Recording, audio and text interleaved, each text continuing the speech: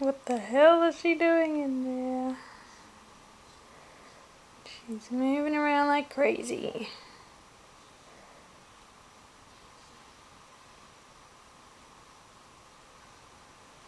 I think she's trying to find her way upside down.